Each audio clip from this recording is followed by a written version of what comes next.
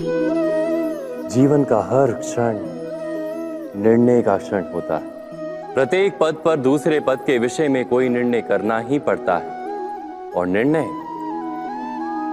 निर्णय अपना प्रभाव छोड़ जाता है।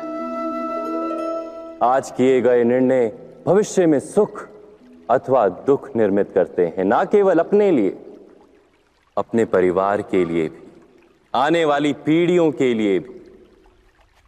जब कोई दुविधा सामने आती है तो मन व्याकुल हो जाता है। अनिश्चय से भर जाता है। निर्णय का वो क्षण युद्ध बन जाता है और मन बन जाता है युद्ध भूमि। अधिकतर निर्णय हम दुविधा का उपाय करने के लिए नहीं, केवल मन को शांत करने के लिए लेते हैं। पर क्या कोई दौड़ते हुए भोजन कर सकता है?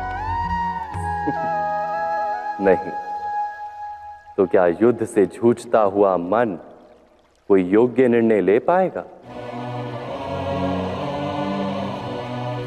वास्तव में, शांत मन से जब कोई निर्णय करता है तो अपने लिए सुखद भविष्य बनाता है।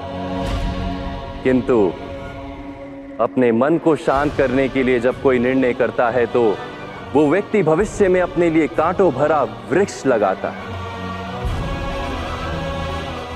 स्वयं विचार कीजिएगा।